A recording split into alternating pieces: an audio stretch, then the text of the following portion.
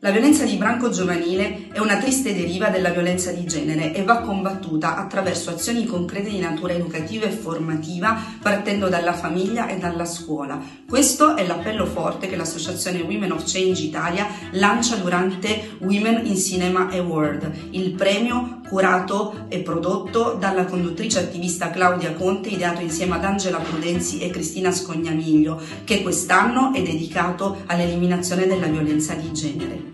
Con l'associazione Women of Change Italia ormai da più di un anno monitoriamo il triste fenomeno della violenza di branco giovanile e della violenza di genere tra le giovani coppie. Come attivista e presidente dell'associazione ho voluto lanciare questo nuovo appello durante Women in Cinema Award che si tiene eh, in occasione della Mostra Internazionale del Cinema di Venezia perché ritengo che noi attivisti e comunicatori abbiamo il dovere di spenderci in in prima persona lanciando dei messaggi di sensibilizzazione e eh, evoluzione in modo forte e chiaro.